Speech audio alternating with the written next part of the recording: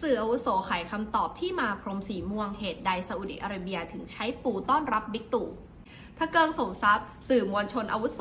เผยเหตุผลทำไมซาอุดิอาระเบียใช้พรมสีม่วง ปูต้อนรับนายกรัฐมนตรีของไทย ชี้กระทรวงวัฒนธรรมซาอุประกาศใช้พรมสีม่วงแทนพรมแดง ทั้งในงานพระราชพิธีและงานต้อนรับแขกบ้านแขกเมือง สื่อถึงการต้อนรับที่อบอุ่น ยินดี เนื่องจากเหตุผลก็คือ ในฤดูใบไม้ผลิของซาอุดิอาระเบียจะมีดอกไม้สีม่วง เบ่งบานราวกับพรมสีม่วงปกคลุมไปทั่วแผ่นดิน และพรมสีม่วงยังบ่งบอกถึงเอกลักษณ์ของชาติ อีกทั้งขอบพรมสีม่วงที่มีลายถักทอหัตถกรรมงดงามนั้น คืองานศิลปะที่เป็นมรดกโลกของซาอุดิอาระเบีย ซึ่งทำสืบเนื่องกันมานมนานจากงานฝีมือของชาวเบดูอิน